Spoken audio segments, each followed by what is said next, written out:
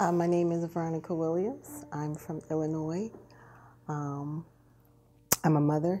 Um, uh, my background is in uh, sociology and clinical psychology. And um, I got involved with coming here um, to support the campaign for youth justice. Um, I became a youth advocate um, because of a personal situation due to my son.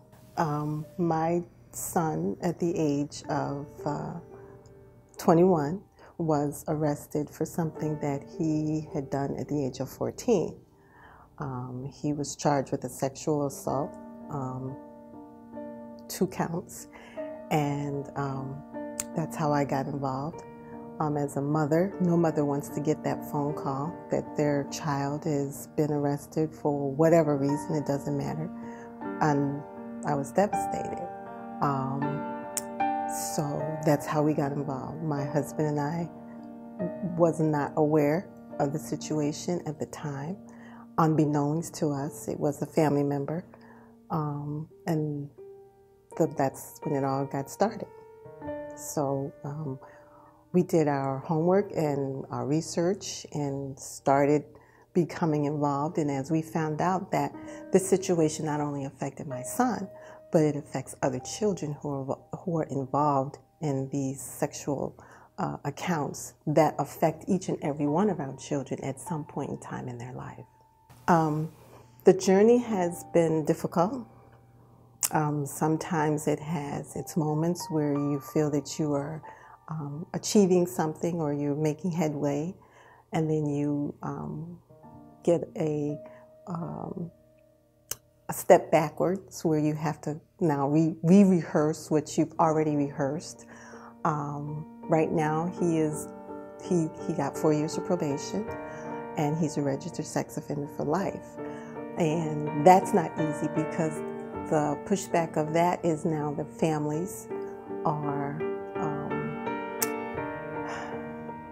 are hurt because of being able to live where you want to live um, him being able to get jobs, him being able to go to school. He was in school at the time, working two jobs, going to school for sports medicine. And um, fortunately, though, the good part is that he's been able to keep his job that he's had for four years since high school. And we've had a good support, um, you know, in terms of his family and his people that he was surrounded with or that we surrounded him with um, have been there for him to support him. And so we got involved. And so the good thing is, that we have a good support. And hopefully, when he comes home, he will be able to connect with that support and be able to move forward with his life. There are obstacles, obviously, but we're hoping to overcome those obstacles um, by the services that we hope that he will be able to have when he comes home. Whether he stays in Illinois or not, that's an issue because he wants to move forward, move on with his life. However, you know, that also is an issue because every law is different in every state when it comes to being a registered sex offender. Uh, well, right now, yes, he is going through a um, treatment right now um, that he received through probation.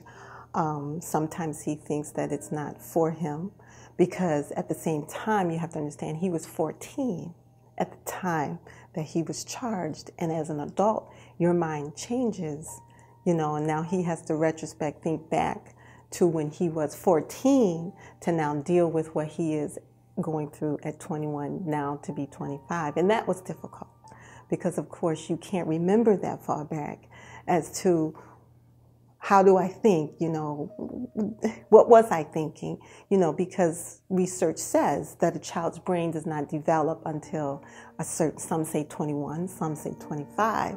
So that has been something that he struggles with, but at the same time, he feels that it is helping him, you know, with the issue and him being able to talk about it, but at the same time, you know, he's in a room of other people who he seems, you know, are strangers, and so they have to talk about that becomes difficult. But at the same time, they're sharing. And so he, he feels that he is getting the help, and hopefully the help will continue when he comes out so that he can move forward and be productive. And we're looking forward to that, you know, as a support for him because we all, as parents, want our children to, you know, overcome whatever difficulties they're struggling with. So um, we're very supportive in that. What he has learned is that he feels is that, if I could put it in his words, he would say that prisons are not for anyone, not at all. If you put a animal in a cage, what is that animal going to do? So if you put a human being in a cage, you're talking about human beings in a cage. So when they talk about people uh, uh, recidivism and that type of thing and coming out, well, in a cage, you become bitter, you become angry. And like I said before, if he doesn't, if a person doesn't have that support mechanism coming out, they're going to come out with that animalistic behavior. So he says, if he could do away with prison, he would, and do more prison reform or rehabilitation and have more um, juvenile programs for kids, so or for anybody instead of prison. So what he's learning is that we have to show more compassion. You know, he he's showing that the the system does not work. It's so broken, and he sees it. He sees it. He sees that it's broken, and what he's learning from it is that you have to understand what you can do and what you can't do.